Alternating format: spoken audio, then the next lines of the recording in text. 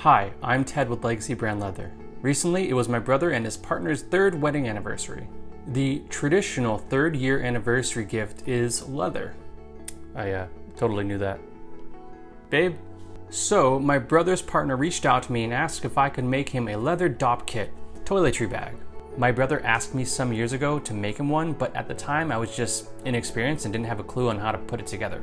And until this project, I've actually never made one. And sometimes I surprise myself.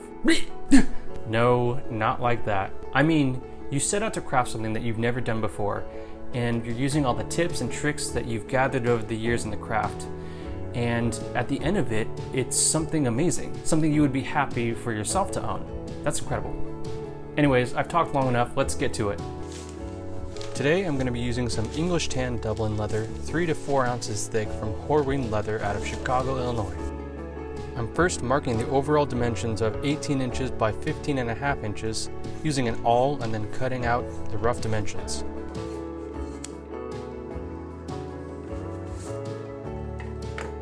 Here I'm using a rotary cutting knife to trim all of the edges.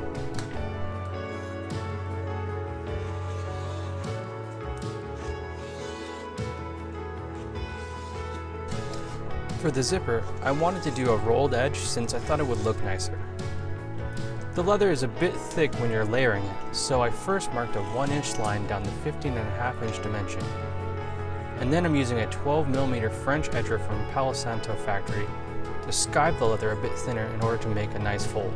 This tool has become one of my more favorites recently out of everything that I own. I use it mostly to make pockets thinner for some wallets.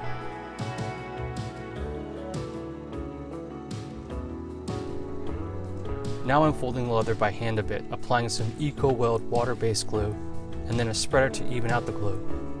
Then once the glue has become tacky, I'm adhering the pieces together. You don't have to do this, but a roller can help here, even an empty glass bottle could work. Then repeat the process for the other side.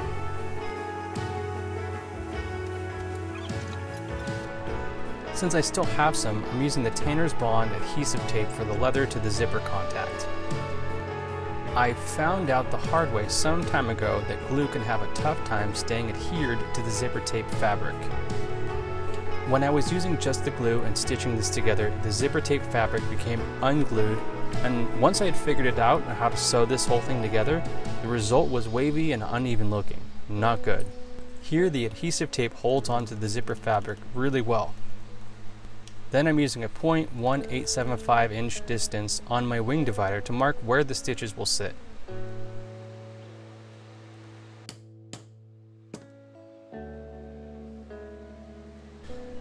I then hammer the KS blade punch pricking iron holes and begin stitching the zipper in with some Vinymo MBT number 5 brown thread.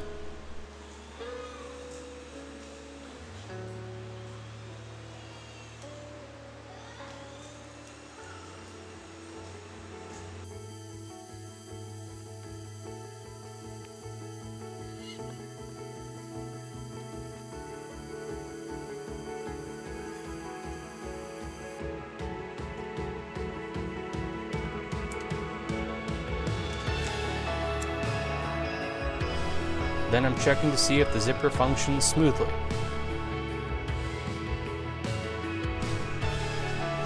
Repeat the same process for the other side.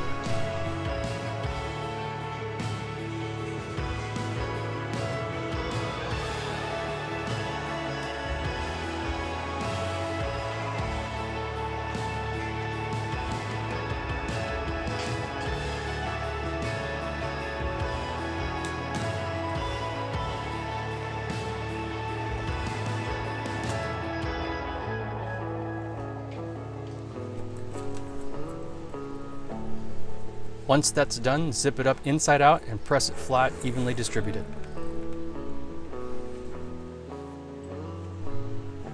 Here I'm marking a half inch seam on the end. Then I make a 2 inch by 2 inch square on each side of those corners above the seam line I just made.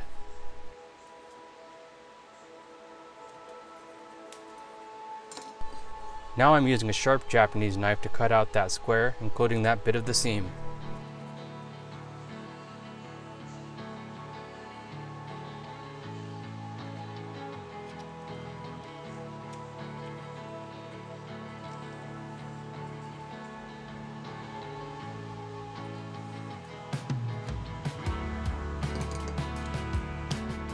I decided to make a pull tab measuring one and a quarter inches by four inches long.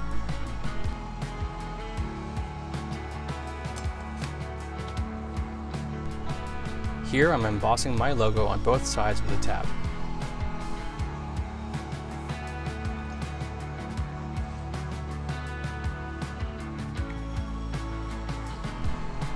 Since the tab will increase the thickness up to 4 layers, I'm thinning out the edges as much as possible using my French edger again. Then it's time to bevel, burnish, and then polish with a canvas cloth.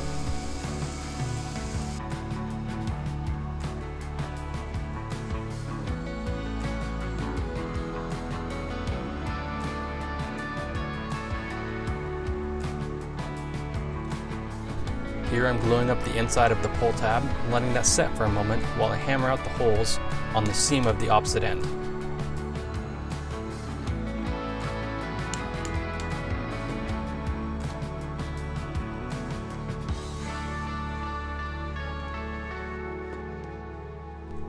Once that's done, it's time to stitch up that seam.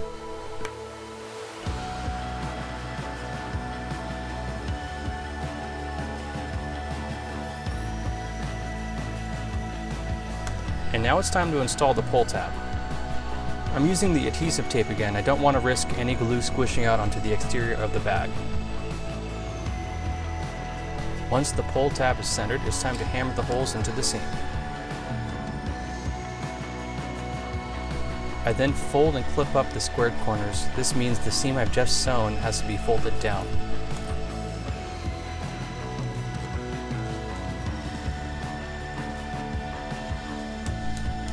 Now that it's clipped together, I'm hammering the half inch seam I've drawn on the corner, as you can see here.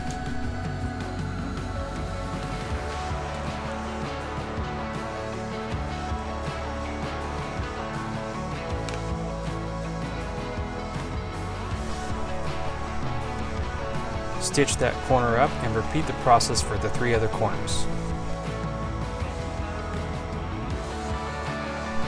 Now it's just a matter of flipping the bag inside out.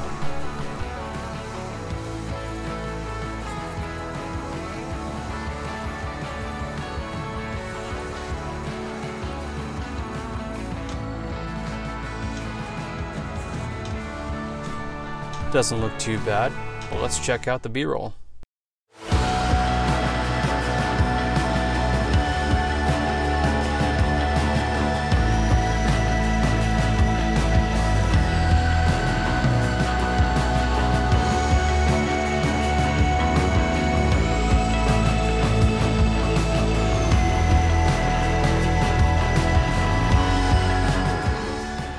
Thank you so much for watching this video. Unfortunately, I don't have enough of this English tan Dublin leather available to make another one of these.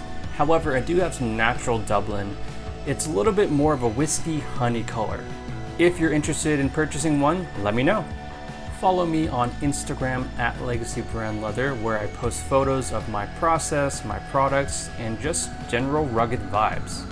If you enjoyed it, please like this video by hitting that thumbs up button below, and please subscribe. That shows me that you want to see more videos and more content like this. Other than that, I'll see you next week with a new video. Stay safe out there.